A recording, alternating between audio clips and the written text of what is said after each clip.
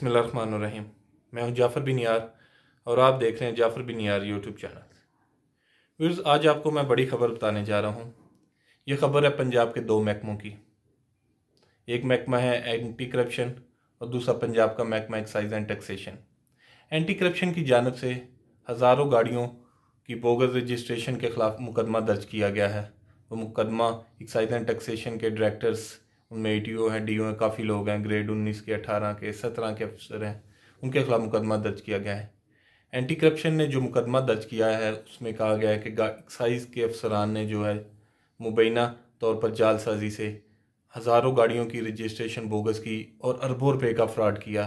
कहा जाता है कि तीन सौ अरब रुपये का फ्रॉड सामने आया, लेकिन अभी तक एंटी करप्शन की जानब से एक रुपये का फ्रॉड भी साबित नहीं किया जा सका।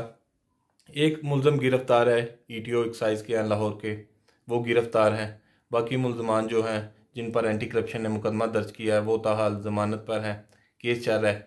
लेकिन जो बड़ी खबर आपको बताने जा रहा हूँ, वो ये खबर है कि महकमा एक्साइज एंड टैक्सेशन के जो है आला अफसरान की, जिसकी क्यादत डी जी सबक डी जी है मसूद हक वो आजकल डी जी नारकोटिस है कंट्रोल पंजाब के, महकमा एक्साइज टैक्सेशन पंजाब के सीनियर इंतहाई समझदार, काबल अफसर हैं। उन पर मुश्तमिल कमेटी बनाई गई थी जिसमें डायरेक्टर्स को शामिल किया गया। ये कमेटी ने अपनी रिपोर्ट पेश कर दी है, आला हुकाम को भिजवा दी है। और रिपोर्ट मैंने हासिल की है, वो आप स्क्रीन पर देख भी रहे होंगे। रिपोर्ट में कहा गया कि जो एंटी करप्शन की जानब से कहा जा रहा है कि कागजात की स्कैनिंग नहीं हुई। स्कैनिंग जिसकी वजह से मुकदमा दर्ज किया गया है। रिपोर्ट में ये कहा गया कि स्कैनिंग करना महकमा एक्साइज एंड टैक्सेशन की ज़िम्मेदारी नहीं। रिपोर्ट में यह भी कहा गया है कि सालाना औसतन तकरीबन छः लाख से ज़ायद गाड़ियाँ रजिस्टर्ड होती हैं और उनकी स्कैनिंग जो है वो महकमा की ज़िम्मेदारी नहीं होती। स्कैनिंग के लिए एक कंपनी को जो है उनके साथ मुआदा किया गया है 2008 से लेके 2018-19 तक उनके साथ मुआदा था।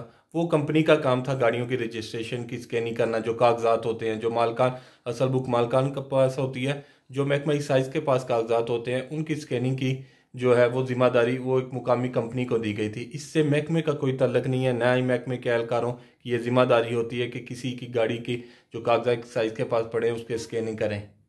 लेकिन अब ये जो महकमा एक्साइज एंड टैक्सेशन की रिपोर्ट आ गई है सामने, जिसमें यह कहा गया है कि एंटी करप्शन है। काय के बरक्स मुकदमा दर्ज किया है। मुकदमा दर्ज करने में बड़ी गलत जल्दी की है।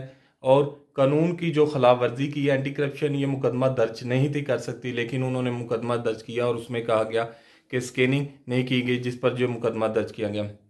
ये रिपोर्ट हुकाम को भिजवा दी गई, आला हुकाम को भिजवा दी गई है। ये जायका ये कहना है, इस रिपोर्ट का जो है कोर्ट में भी सहारा लिया जाएगा, ताकि अदालत के सामने हकायक लाए जाए कि ये मुकदमा इंतहाई जल्दबाजी में दर्ज किया गया है।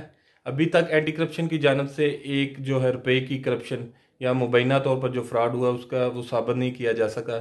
चंद रोज़ कबल मैंने भी जो एंटी करप्शन के डायरेक्टर विजिलेंस से, अब्दुल सलाम आरफ, उनसे ये सवाल किया था कि क्या एंटी करप्शन के पास इख्तियार था? लेकिन उन्होंने बड़े जल्दबाजी में कहा कि एंटी करप्शन सारी कार्रवाइयाँ कानून के मुताबिक करती हैं। ये तो आने वाला वक्त बताएगा कि इस केस का क्या बनता है, लेकिन ये रिपोर्ट सामने आने से जो एंटी करप्शन ने एक्साइज के आला अफसरान के खिलाफ मुकदमा दर्ज किया है उस पर अब सवालिया निशान लग चुका है और अब अब अदालतों को ये फैसला करना होगा कि ये मुकदमा जल्दबाजी में किया गया हक के बस किया गया, या कानून के मुताबिक किया गया, या कानून की खिलाफ वर्जी की गई। ये था मेरा आज का प्रोग्राम। उम्मीद करता हूँ आज की आपको यह खबर पसंद आई होगी। मज़ीद खबरें देखने के लिए मेरे चैनल को सब्सक्राइब करें, बेल आइकॉन का बटन ज़रूर दबाएँ। बहुत शुक्रिया।